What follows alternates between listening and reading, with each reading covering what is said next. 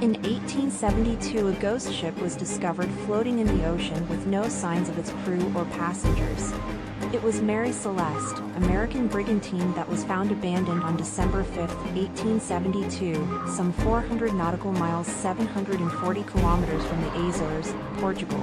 The fate of the 10 people aboard remains a mystery till today.